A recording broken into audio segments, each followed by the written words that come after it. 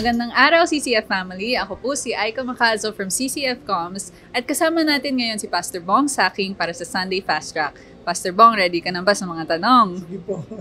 Okay, para sa unang tanong. Kung gusto ng Diyos na maging masaya tayo, bakit hindi niya na lang binigay lahat ng mga wants and needs natin para maging maginhawa ang buhay natin? Ayan.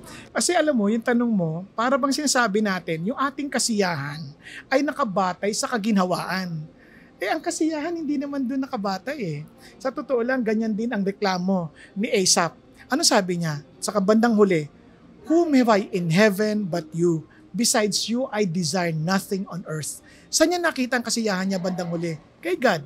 Na kung wala si God, hindi ka masasapatan because only God can satisfy us.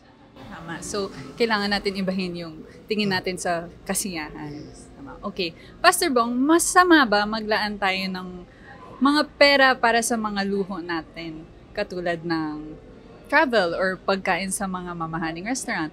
Yan. Ano ba yung luho na sinasabi natin? Pag sinabi natin luho, those are living in luxury. Now, alam nyo, ang ganda sa Diyos, hindi niya hindi siya hindi tayo ang naghahanap noon eh. Kahit nung tingnan mo yung Genesis, hindi si Adan na naghahanap ng asawa. Hindi siya ang nag-isip ng kanyang mga pangailangan. It was God who saw his need.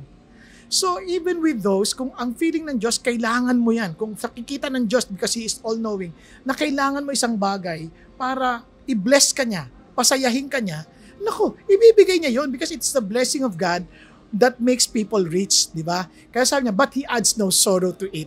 Kaya dapat maintindihan natin na ano ba yung sinasabi mong luho? Baka naman, minsan hindi naman luho dahil blessing ng Diyos. Pero hindi tayo naghahanap nun. Si God ang nakakakita nun.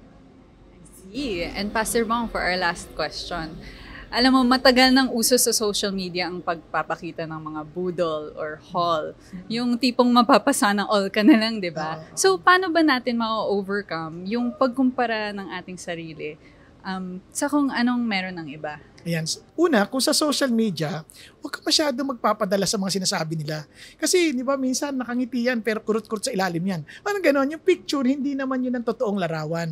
Pangalawa, hindi tayo dapat nagbabatay ng ating kasiyahan sa kas- sa ano sa mga nakikita natin na parang wala tayo nun.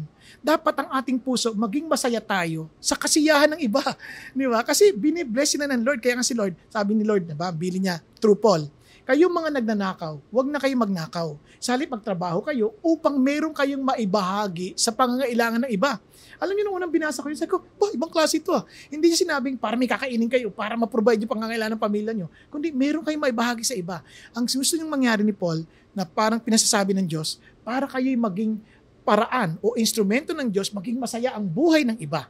So, if you see doon sa social media, yung saya nila, praise God dahil masaya sila kahit hindi pa nga ako nagamit ng Diyos pero hangad ko ring masaya silang lahat. Dahil ang kasiyahan natin, ang kasiyahan ng Diyos para sa kanila. Amen and amen. Salamat Pastor Bong sa pagsasagot ng aming mga katanungan and that's it for Sunday Fast Track. God bless!